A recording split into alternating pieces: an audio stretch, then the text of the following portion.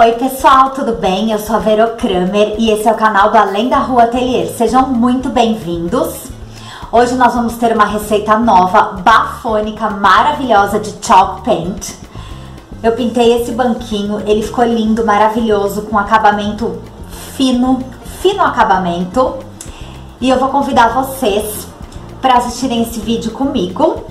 Eu vou deixar a receita para vocês aqui na descrição do vídeo, mas é claro, assistam o vídeo porque tem toda a explicação, todo um ritual de como fazer essa chalk paint para ela dar certo. Tem muita gente que me escreve falando, Verô, eu fiz a chalk paint, não sei o que deu errado, que eu raspo o dedo e sai tudo.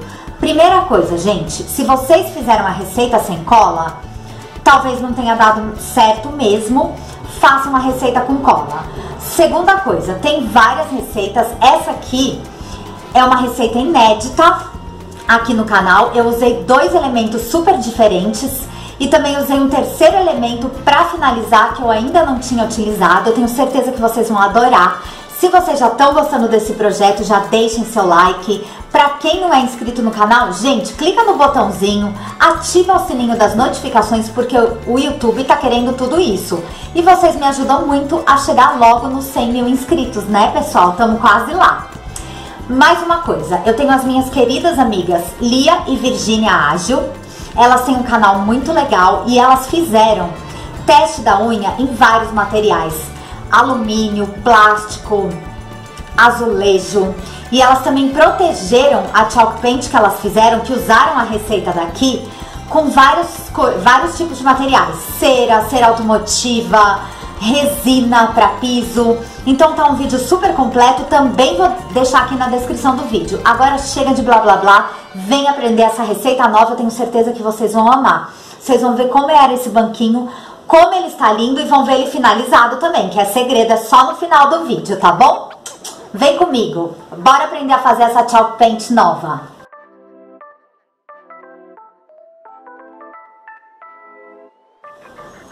E eu estava aqui pensando que objeto transformar com a chalk paint, com essa receita nova, quando olhei aqui na minha oficina mesmo, o banquinho que eu sento todo dia, que eu adoro banquinho, tá, gente? Eu dispenso as cadeiras para trabalhar. Esse banquinho eu fiz há muito tempo atrás. Eu vou colocar até aqui no, na descrição do vídeo o link pro post do blog onde eu ensino a transformação, que eram uns banquinhos muito velhos, transformei, deixei novos, agora já tá bem velhinho de novo. Também isso aqui, essa transformação tem uns 9, 10 anos. Olha só, ele tá cheio de tinta, todo sujo. O tecido, então, nem se fala. Então, o que, que a gente vai fazer? Tirar esse tecido feio, porque não dá nem pra pintar isso aqui, ele tá rasgado e tudo. A gente vai pintar aqui e aqui trocar o tecido. Vou fazer, o tecido vai ser simples, tá, pessoal? Que isso aí não é muito comigo, mas a pintura vai ser com a Chalk Paint, com um novo elemento, um novo ingrediente ao invés de gesso, a gente vai usar o carbonato de cálcio, tá bom? Me empolguei aqui, a gente vai fazer uma receita totalmente nova, não sei no que vai dar, não testei antes, vocês sabem que eu sou dessas, né? Olha só, qual que era a receita da Chalk Paint com gesso? Três medidas da tinta, uma medida de gesso e uma colher de cola, certo? Aqui a gente vai usar também três medidas de tinta. Dá pra ver aqui, né, gente? Que eu, eu, é porque agora tá mexendo, mas eu deixei bem certinho. Três medidas de tinta, aí até aqui vai ser uma medida do que a gente vai usar agora. Verô, você vai usar, usar gesso? Não vou usar gesso, eu vou usar carbonato de cálcio. Está aqui. Qual é a história do carbonato de cálcio, gente? Ele substitui o gesso, tá? Carbonato de cálcio eu ganhei de uma inscrita, seguidora muito linda, a Fernanda Blend. Ela trouxe aqui pra mim no ateliê porque ela comprou um quilo e ela falou que não ia usar tudo nunca e trouxe pra mim. Fofa, né? Ô Fê, obrigada, tá? Eu tô abrindo agora com vocês, sei que eu demorei, mas é que eu tava editando e gravando meu curso de pintura em vasos online. Eu vou depois explicar tudo pra vocês. O carbonato de cálcio ele tem a consistência de um talco e eu já tinha até falado numa live que eu queria testar o talco e alguém falou que umas meninas fazem com talco. Nunca fiz, nunca tinha ouvido falar. Ele parece um talco mesmo, viu gente? É mais macio. O carbonato de cálcio a gente vai fazer então a medida para colocar aqui. Só que gente, aqui já está o primeiro primeira diferença da receita antes do gesso. Eu não estou usando latex ou tinta PVA. Eu estou usando esmalte à base d'água, tá? Esmalte à base d'água, três medidas e agora eu vou colocar uma medida do carbonato de cálcio que eu vou dissolver com água também. Eu vou dissolver com água morna, que nem eu faço com o gesso, tá, gente? Então a gente dissolve antes de colocar ele ali. Olha só. Ele vira uma pasta. Peraí que eu já vou mostrar. Parece até um rejunte quando a gente faz assim. Tem que dissolver bem, né, de todos os cantinhos para não virar uma gororoba. Vou colocar até um pouco mais, porque ele não pode ficar muito mole também. Agora tá muito duro. Adoro fazer receitas com vocês de coisas que eu nunca testei.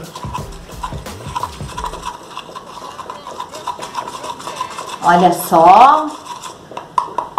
Acho que agora vai. Ele ainda tá um pouquinho mole, mas tá consistente, ó. Ai, vou colocar assim. Tirei de todos os cantinhos. Já vou colocar aqui. Na tinta.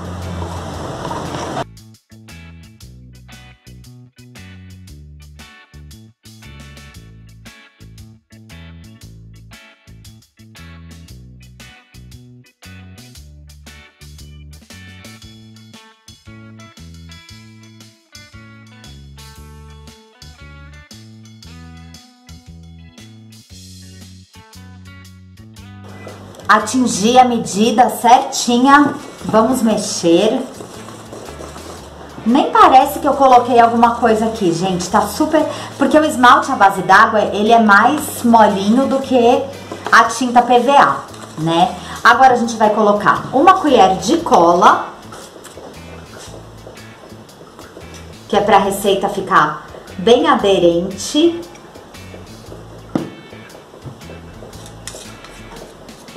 E agora a gente vai ter a nossa tinta pronta. É claro que se você quiser tingir essa tinta, você pode tingir, você pode fazer a cor que você quiser.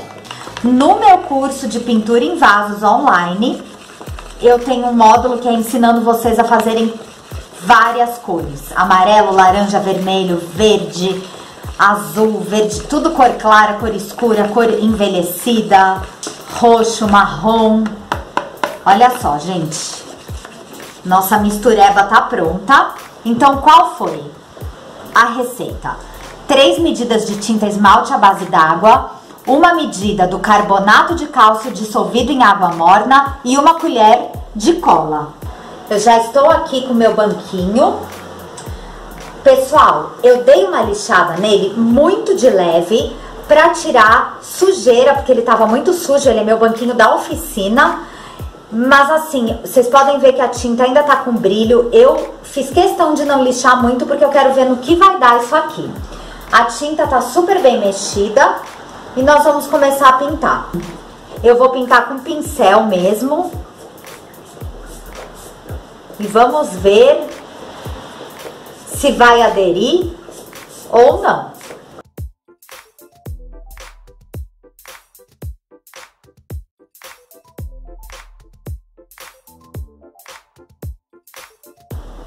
Primeira demão aplicada, sequinha.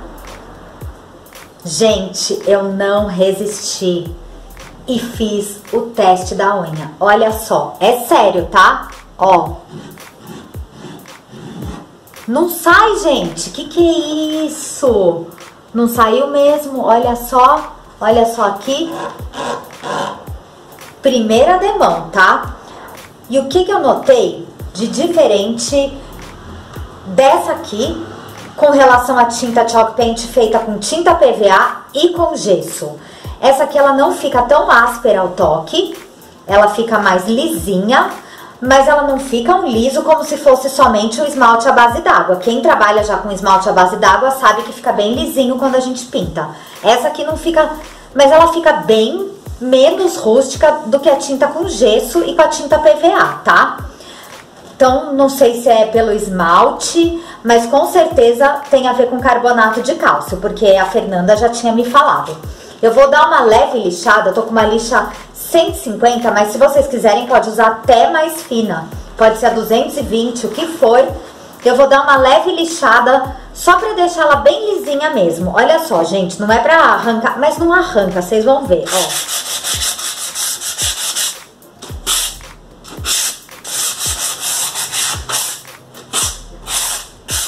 Eu vou fazer isso no banco todo pra gente voltar pra aplicar uma segunda demão, tá? Eu vou passar mais uma demão da Chalk Paint aqui, porque eu quero ver no que vai dar isso aqui. Eu acho que ela vai ficar muito coberta. Nós vamos, então, pegar a nossa Chalk Paint feita com esmalte à base d'água e carbonato de cálcio. E ela fica bem mais mole mesmo, e isso com certeza é por causa do esmalte, né? A tinta esmalte, que ela é mais molinha. E a gente vai aplicar uma segunda demão no banquinho.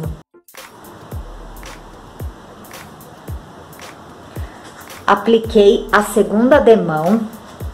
Ela está quase perfeita, vamos dizer assim.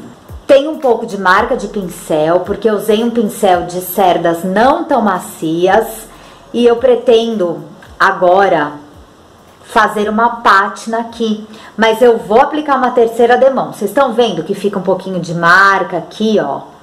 Eu vou aplicar uma terceira demão porque eu quero ver como vai ficar isso aqui. Esse banco, é claro, é um pouco rústico, não é uma coisa que tá 100% lisa, mas é isso que eu quero, tá? Ontem eu apliquei as três demãos de chalk paint, esperei uma meia hora, né, para dar as demãos, lixei entre as demãos com a lixa 150 para madeira.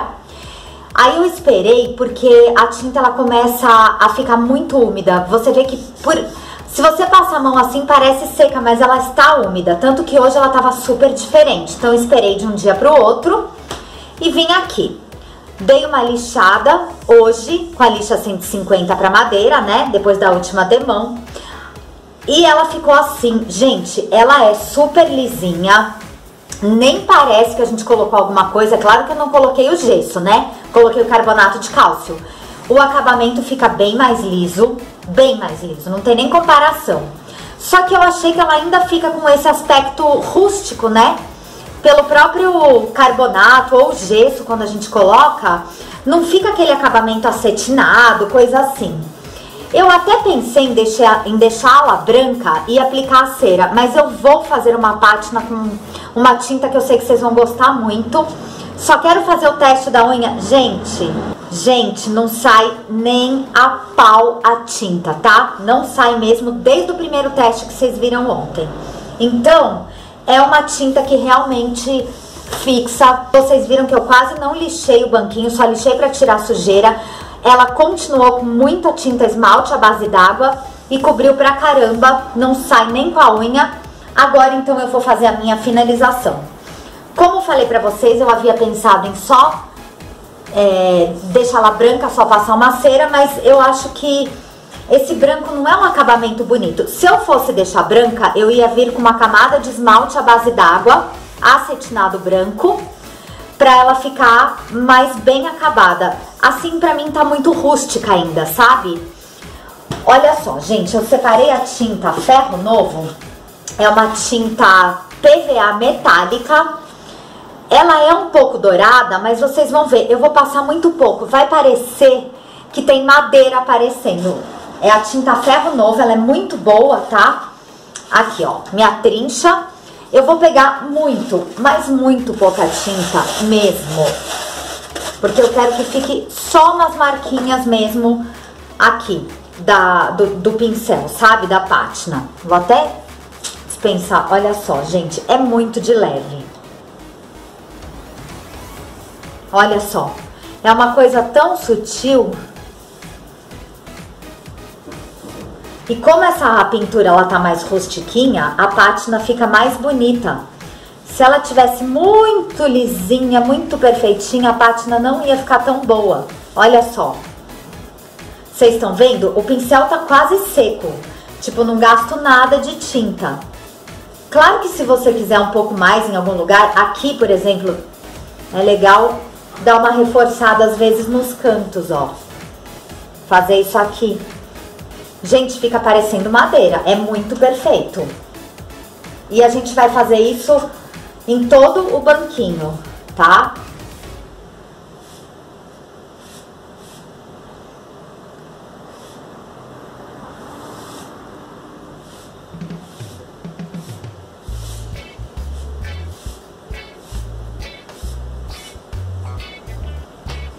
E sempre que você pegar a tinta de novo, você começa mais com mais cuidado para não para não sair muita tinta aqui e ficar esquisito, ó. Começa bem de leve.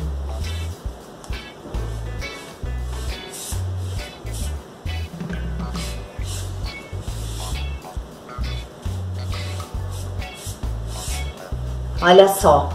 Ele fica parecendo madeira mesmo, é impressionante. Olha que coisa mais linda, mais cheia de graça que ficou essa pintura. Assim, gente, só para recapitular com vocês. Se eu fosse fazer uma cor lisa, esse fundo branco seria apenas um fundo mesmo, né? Como tá sendo aqui na pátina, porque o acabamento dele, pra mim, não é um acabamento ideal de um móvel. Claro que agora a gente vai passar uma proteção. O que, que eu costumo passar, gente? Muito bem, costumo passar o verniz acrílico acetinado, toque de seda. Mas eu tava atrás de uma cera, porque vocês ficam falando de cera, cera. Eu passei a cera automotiva nos azulejos da cozinha, vou deixar o link aqui. Foi ótimo, mas eu queria uma cera normal. E a minha querida mamã comprou a cera inglesa pra mim, tá? Ela achou num supermercado lá em Barão Geraldo, mas não é muito fácil de achar e não foi barata. Custou uns 30, 35 reais, tá, gente? E mamã é tão boa que comprou a cera com cheiro de lavanda, porque ela sabe que eu também amo cheirinho de lavanda. A gente vai passar duas camadas com a estopa. E vamos ver como é que vai ficar. Ele ainda, se você, vamos supor, você vai comprar uma, uma peça, tá com esse acabamento, você vai achar bom. Mas pra mim, claro que conheço, falta alguma coisa. Então a gente vai pegar um pedaço de estopa e vai começar a passar essa cera. Ai, que delícia! Olha só, gente. A cera, ela vai dar uma textura um acabamento para essa pintura. Ai, que maravilha! Eu vou passar umas duas camadas e depois eu vou dar uma lustrada.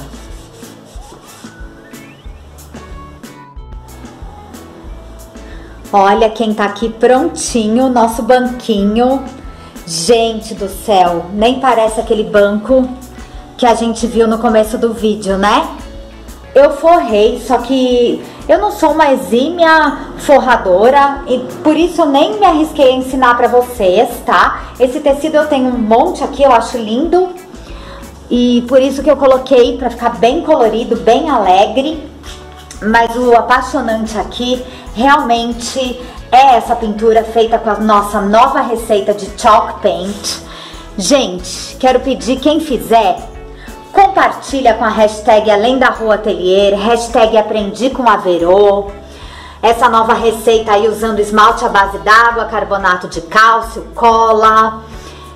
Também indica o vídeo, né? Se vocês fizerem saindo aqui do canal, que eu acho legal a gente indicar com quem a gente aprendeu. Espero que vocês tenham gostado. Deixem seu like, deixem seu comentário.